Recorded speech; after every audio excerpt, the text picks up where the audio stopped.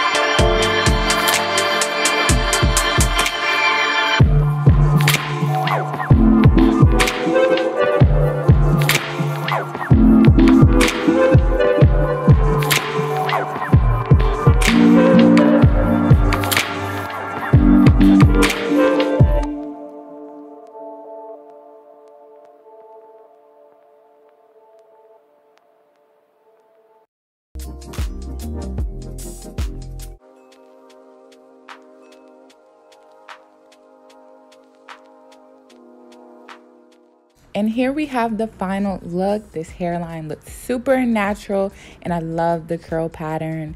Actually, once it dries, it does get a little bit more fuller, um, but it was still damp when I did this review.